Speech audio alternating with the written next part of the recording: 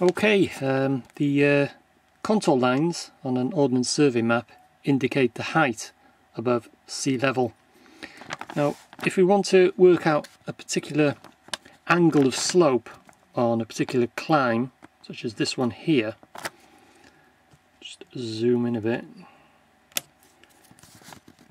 See the climb from this river here, that climb there.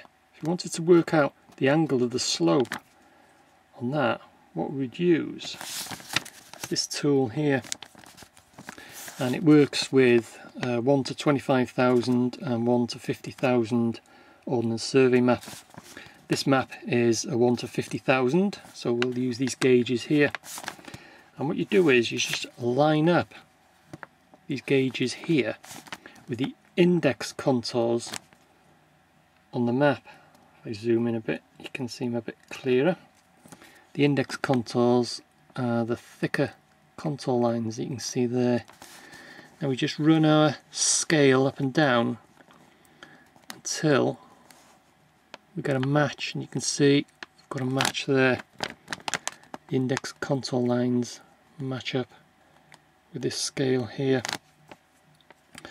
So now I can work out that the angle slope, slope angle, is 20 degrees and let's just slide across.